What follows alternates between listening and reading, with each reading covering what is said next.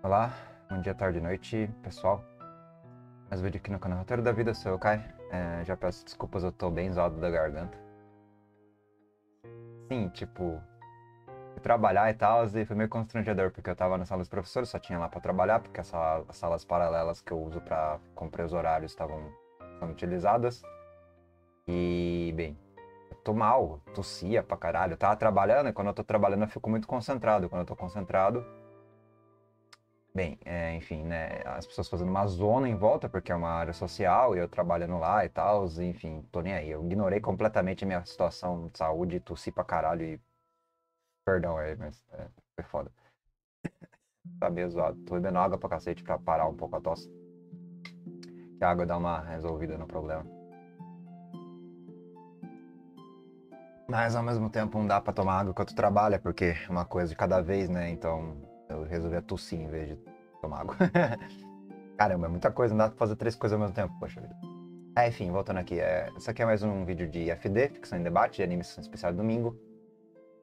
O anime da vez é um animezinho chamado The Super Gal, é, em inglês, que é a Super Garota, Super Gear, né? Gal é como sei, não sei porque Gal chama, acho que é um tipo de pronúncia torta japonesa que eles usaram a, literalidade da pronúncia torta japonesa em Gal como Gear, né? Gear de inglês, né? E aí fica Maris de Chojo, Maris a garota, é, em, título mais oficial do gringo mesmo, né? Maris de Chojo.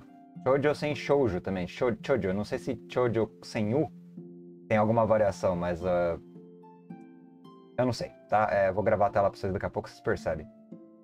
Esse é um AVAzinho de 48 minutos, quase 50, lançado em 1986, meados, junho de 1986. Ele é um AVAzinho tipo uma história separada, não sei se foi feito em mangá dele, mas acho que sim. Mas ele é uma história especial lançada pela Takahashi, Rumiko Takahashi. A Rumiko Takahashi, para quem não conhece, é ela é workaholic. Ela tem muita obra. Tipo, literalmente infinitas obras. Ela fez no Yasha, Rama Meio. Cara, é muita coisa. Não, nem sei dizer, cara. A mulher é workaholic ao extremo. Ela fez. Mano, é, é insano. Insano, assim. É muita coisa. Tem que pegar aqui a, a lista de obras dela, quer ver? O Miku Takahashi. Ela é mangaka, cara. Ela não é. Não é. Nossa, ela fez muita coisa. Então, tem umas coisas mais curtas, outras mais longas, bastante one shot. Ela publica muita coisa. Muita história longa, muito mangá bem longo mesmo. Ela é uma workaholic, assim, veterana. Eu acho que até meio doentio, porque ela trabalha muito. Vou mostrar pra você uma anime list, vocês veem as obras dela dos mangás publicados, mangás. É Ela também trabalha anime. Ela faz parte de, pos de posições em anime, como criadora ou desenhista. Enfim, ela, os animes dos, dos mangás dela, né? Ela também pode ter algum dedo na adaptação, né? Vou mostrar ela pra vocês aí. Tá aqui a Rumiko Takahashi. Lenda, uma lenda. E aqui os animes e staff de que ela participou, né? Ajudou em Sayone Zebutsu Sensei, Hamameio, Urusei Atsura, que é dela também, que eu nem sabia. É, acho que não deve ter participação, mas ela é criadora, né? Criadora.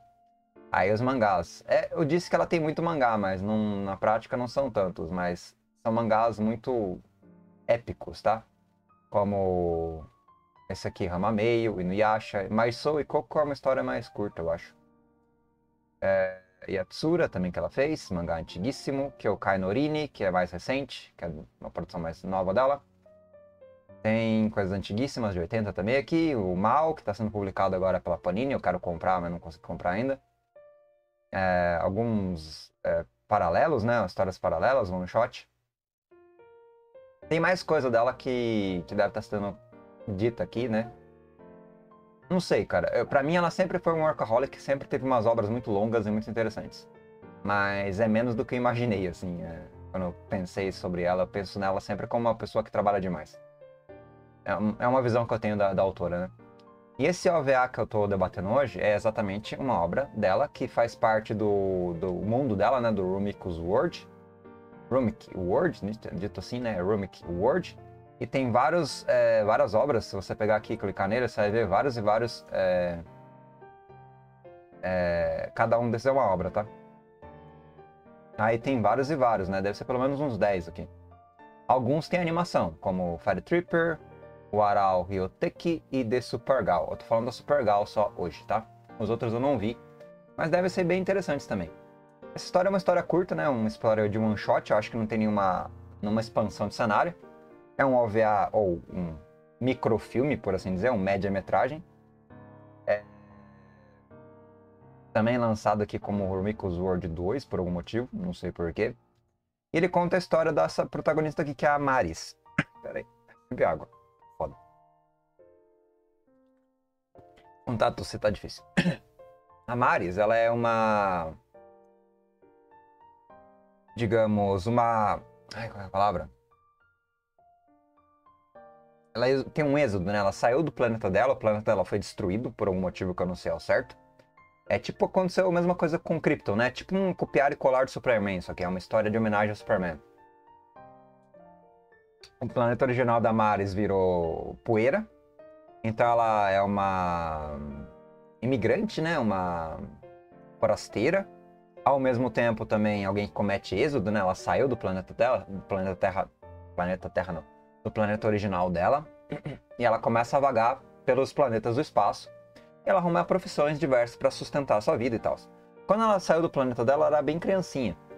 E daí mostra os pais dela, o pai dela tem problema com bebida, a mãe dela tem problemas domésticos com o pai dela e tal. Eles moram no interior de um planeta aleatório. É tipo um Star Wars, assim, barra Superman, tá ligado? E por que Star Wars barra Superman? Porque a Maris ela tem um poder absurdo físico. Assim, ela é hiper forte. Hiper, hiper, hiper forte.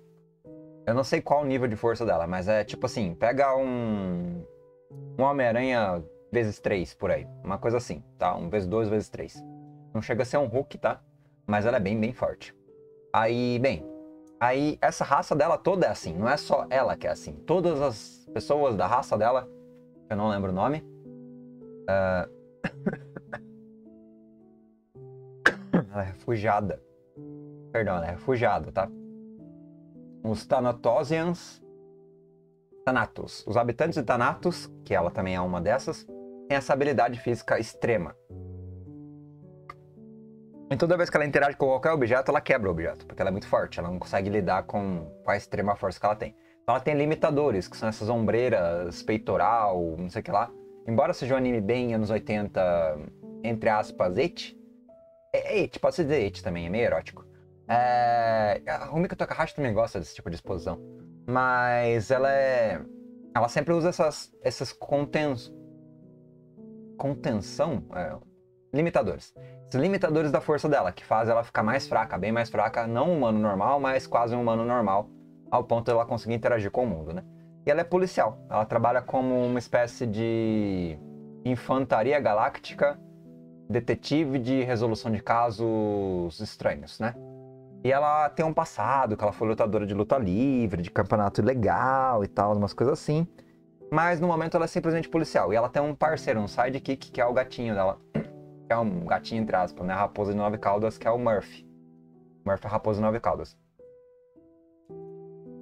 Que nada mais é do que uma Cube, né? Uma, uma tipo do Naruto mesmo, uma Cube, uma raposa nove caudas. Ele tem as habilidades de ilusão e tal.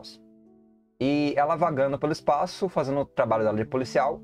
E num desses trabalhos ela tem que resgatar um príncipe que foi sequestrado. É, dentre outros trabalhos, né? Tem outros trabalhos também que ela tá fazendo aqui e ali. Mas num desses, ela tem que resgatar esse príncipe. É interessante porque isso aqui é bem anos 80, tá? Muito anos 80.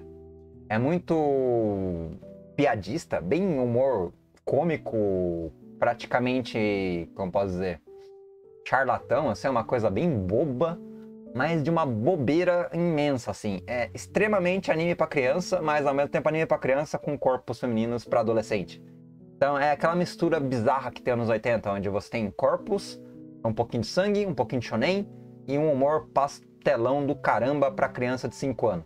Então, é uma mistureba padrão, assim, dos anos 80, típico também da Romiko Takahashi, porque no Yasha é um tanto assim, Ama Meio é assim, As obras da Rumiko Takahashi, ela sempre flerta com um público é, adolescente quase adulto e um público infantil que acaba sendo introduzido a um cenário que é fantasia, mas ao mesmo tempo que a fantasia é bem sanguinário, tipo Inuyasha, tá ligado? Inuyasha é dramático, é sanguinário, mas é feito para criança, tá? É sempre Kodomo. O, a Takahashi ela tem esse, essa ambiguidade nas obras dela. Que ao mesmo tempo que é feito para criança, ele atende com uma estética e uma narrativa mais adulta, tá? Sempre é assim. Então, é ambíguo mesmo, é uma ambiguidade natural da obra da Takahashi.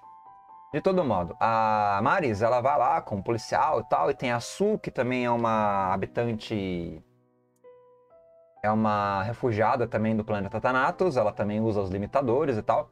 A Su e a Mari já, já, tinham se enfrentado antes, porque elas faziam parte de uma rinha ilegal de, de briga, né? De galo, rinha, ia falar rinha, rinha de galo, não, rinha de briga, né? Briga de luta livre, né? E tem o príncipe, né? Que é esse cara aqui, o Kogenemaru, Kogenemaru, se não me engano é assim que pronuncia. E aí tem o pai dela, o Pingusto, caramba, a mãe dela e tal. E o chefe dela, que é esse carinha aqui, um carinha estranho aqui, que vocês podem ver bem, bem no fundo. Pera aí. Nossa, tá foda. Enfim, aí é bem piadista, assim. É bem. É uma história descompromissada, tá? Muito descompromissada. E, e ela com as dívidas dela, do pai dela ser alguém que vive fazendo ela pagar as dívidas dele, ela quebrando as naves, ela quebra cinco naves no, no anime, acho. Pelo menos umas quatro. Ela quebra a nave pra caramba, porque ela é muito forte. E ela tira o limitador e sem querer ela começa a destruir a nave. Ela literalmente quase morre várias vezes por causa que ela fica presa no espaço, assim. Que as naves dela vão pro saco. E o Murphy é só um sidekick, né? Um, uma cube de nove caudas, que é meio que um cara escrotão também. É engraçado o que ele faz até. Tem essas patinhas estranhas. Que, que porra é essa? É, enfim, eu não entendi. Mas enfim, ele é. Esse sidekick dela, o Murphy, é divertidinho, mas também é bem descartável. Esse anime aqui é puramente sessão da tarde, tá? extremamente genérico. Ele tem carisma, é muito carismático. É um Rumiko Takahashi na veia, mas ao mesmo tempo não é ela que faz o anime. Então o mangá é obra dela, o anime é a adaptação. No caso do OVA, né? Do filmezinho de 48 minutos. E, meu, ele é muito miscigenado com, com coisas americanas, né? Um pouco também de Battlestar Galactica, um pouco de, de Gundam, umas coisas. No Gundam nem tanto, porque não tem robô, não tem mecha. Mas umas coisas mais emprestadas do super-herói americano, uma, um humor muito interessante e um desfecho que é previsível, mas é legal também. E a, é triste, tá? É, o fim é muito complicado, é muito dramático, é muito. Eu fiquei triste pelo fim, eu fiquei chateado. Cara, eu fiquei meio chateado, esse anime é brutal. o fim é meio sacana. É bem sacana. Não vou falar, mas é, eu achei é trágico, assim, bem trágico. De todo modo, é, o transcorrer do anime ela tentando ganhar dinheiro na profissão dela de detetive espacial, submissa a esse nanico lazarento, que é tipo um. Ela é tipo uma. Ela não é bem da polícia do exército, ela é tipo um mercenário, tá ligado? É uma empresa privada de segurança, por assim dizer. É, uma empresa privada de segurança e esse cara aqui, o Naniquinho aqui, é o líder. Esse cara de baixo. Que é engraçado quando ele aparece no anime, é bem divertido. É, ele aparece uma vez só, acho. Uma, de corpo mesmo, não no vídeo, né? É bem divertidinho mesmo. E é mais para você rir mesmo. Acho que todas essas histórias da Rumiko World deve ser, ou Rumiko Takahashi, o mundo da Rumiko Takahashi, devem ser mais ou menos com esse tom, né? É, de humor, de, de piadismo. Aliás, esqueci de colocar as imagens. Então vocês veem o anime aqui, um pouquinho brevemente. É uma coisa bem anos 80, aquela paleta de animação não tão boa, mas não tão ruim. Ao mesmo tempo com essa pegada fanservice pesadíssima, que é a roupinha. Ah, as lutas. Nossa, velho, é muito divertido ver a Maris lutar. Ela luta sério uma vez só, né? Porque o resto ela só apanha. Mas, velho, é muito engraçado ela lutando. Ela é muito forte, então ela bate devagar. e quando ela bate devagar, ela dá muito dano. Então ela bate bem devagar, mas ela, ela dá muito dano. E é muito engraçado, porque ela pisa no chão, ela afunda o chão. Ela, ela faz. Ela, ela é muito literal, assim. Ela. Como se ela pesasse uma tonelada, uma coisa assim, porque ela é muito, muito forte. Tá? Ao ponto de que ela bateu o pé no chão, ela afunda o chão. Então ela não pode, de maneira alguma, estar tá sem o limitador, né? A raça dela inteira, assim. Não é só ela. Todo. Todo Todos os habitantes desse planeta Thanatos são assim. incluindo a Su, né? Que é a, a, a, a, digamos, a antagonista. E é muito legal a Su também. A Su é fofinha. Ela é, tem uma missão de vida e tal. E daí ela faz um afeto com um cara lá, não vou falar pra não dar spoiler. E o desfecho é muito divertido. E ao mesmo tempo é trágico. E eu nem sei que imagem eu uso de capa, tô na dúvida. Enfim, é engraçado. É razoavelmente funcional na animação. Ele é agradável no sentido de desenvolvimento em geral. Trilha sonora é superficial. É, as características são carismáticas, assim, tipo, é um anime bem. E as lutas são divertidas, embora seja, tenha uma luta séria só de verdade, o resto é só a, a Mari apanhando que nem louco, ela apanha muito. Nossa, como ela apanha. Dá até dó, cara, ela é desmagada um monte de vezes. É, e é bem piada, assim, é uma coisa bem pontual e não tem nem imagem pra colocar. Eu vou tentar usar as imagens aqui, daqui a pouco procurar umas imagens melhores pra colocar de chart na, na, na capa do do, do, do, do, vídeo, né? Mas é isso, pessoas. Cara, tô mal. Tá difícil de falar. Pera aí. Até me desconcentrei aqui. Ai, Jesus, tá foda. Deu 16 minutos por causa das enrolações que eu, que eu fiz, né? Então, é, Rumiko Takahashi, recomendo para vocês, recomendo as obras dela em geral. É uma autora muito única, sabe? Muito única, muito única. A Rumiko tem uma, uma identidade muito forte, as obras dela têm uma identidade muito interessante. Não são nada épicas, são obras hum, medianas, sempre medianas, mas muito agradáveis, sabe? É uma ela é muito boa no que ela faz. E ela sabe passar essa proposta muito bem. Apesar de ela ser muito, entre aspas, workaholic, de acordo com a minha concepção, ela é muito estável, ela é muito estável, assim, é uma autora muito assim, consolidada e, e não perde a linha, sabe? Ela nunca perde a linha. É difícil ter uma obra ruim dela. Eu nunca vi uma obra ruim da Rumiko Takahashi. Esse filme não é ruim, não. Ele é interessantezinho, mas é que ele é abaixo da média do que é só um, um bônus, né? Eu tô tentando não tossir. É só um bônus para você aproveitar aproveitar a diversão do mundo dela e tal. Perdão, pessoas, me estendi muito. É, mas é isso aí. Até mais aí, até o próximo fim de semana. Fim de semana. PD de domingo, espero que eu esteja melhor. Porque tá difícil de gravar e querer tossir ao mesmo tempo. E, enfim, vocês entenderam. Desculpa aí. Mas é, eu sou meio retardado, fiz esse vídeo mesmo com a garganta estourada. Falou aí, pessoas. Até mais. Grato pela presença.